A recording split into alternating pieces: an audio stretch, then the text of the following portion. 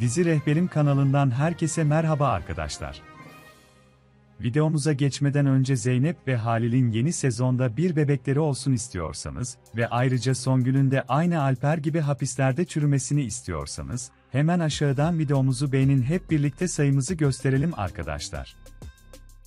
Rüzgarlı Tepe yeni sezonda Zeynep ile Halil birlikte olacak mı? Zeynep'in Halil ile birlikteliğinden ikiz bebekler mi dünyaya gelecek?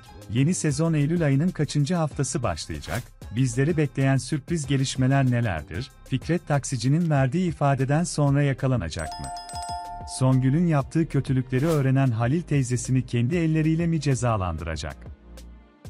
Merak ettiğiniz her şeyi sizler için bu videoda anlatacağım.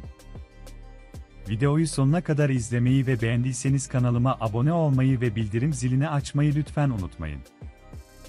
Ayrıca Rüzgarlı Tepe dizisi bir an önce başlasın diyorsanız yorumlara kocaman bir kırmızı kalp bırakırsanız sevinirim.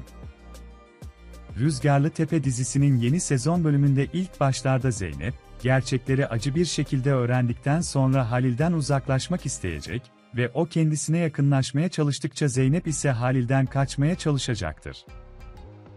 İlk birkaç bölüm Zeynep ve Halil'in birbirlerinden ayrı yataklarda yattığını izlesek de, eninde sonunda kazanan aşk olacak ve Zeynep Halil ile evlenmeyi kabul ettiği halde onun karısı olmamak için ondan daha fazla kaçmak istemeyecektir.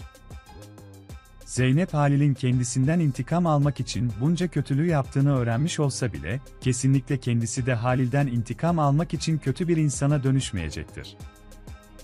Ancak Zeynep Halil'in kalbini ilkinde kazanması ve ikincisinde paramparça etmesi sonucu Zeynep'in biraz gerçeklerden uzak kalması gerekecektir. Zeynep kısa bir süre Halil'den uzaklaşacak ve ailesiyle birlikte çiftliği terk etmek için biraz zaman kazanmak isteyecektir. Halil ise Zeynep'in onunla birlikte olacağı gece ne öğrendiğini merak edip duracak ancak bir türlü gerçeği öğrenemeyecektir.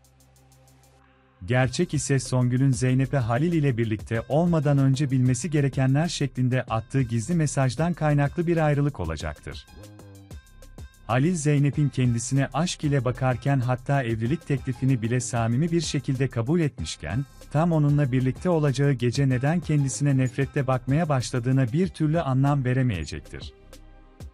Halil gerçekleri ne kadar öğrenmek isterse istesin, Zeynep'ten tek bir kelime dahi alamayacaktır. Diğer yandan Canan ile Asu'yu öldürmek isterken çuvallayan Fikret ise elinde kolye ile birlikte yakalanacaktır. Analizimizin sonuna gelmiş bulunmaktayız arkadaşlar. Hemen aşağıdan yorum yapmayı ve videomuzu beğenmeyi unutmayın. Diziye dair yeni analizlerimizden haberdar olmak isterseniz kanalımıza abone olup bildirim zilini açabilirsiniz. Görüşmek üzere, hoşça kalın.